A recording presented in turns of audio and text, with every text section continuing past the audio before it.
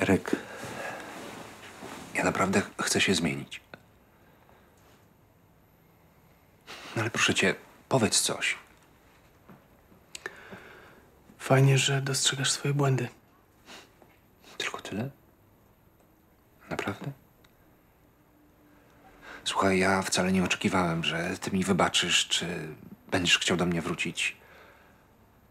Ale naprawdę miałem nadzieję, że chociaż normalnie porozmawiamy.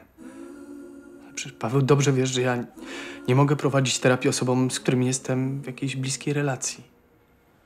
Miło usłyszeć, że nadal jestem dla ciebie bliski. To znaczy, że mam jeszcze szansę? Proszę cię, idź stąd. A jak naprawdę potrzebujesz terapii, to... Proszę.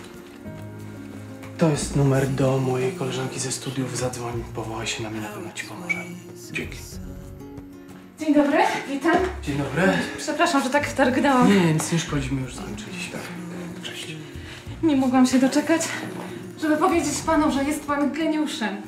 Powiedziałam szefowi wszystko, co myślę o nowych obowiązkach, o nowym projekcie. Halo? Słyszy mnie pan? Jasne. Szefowa i nowe obowiązki.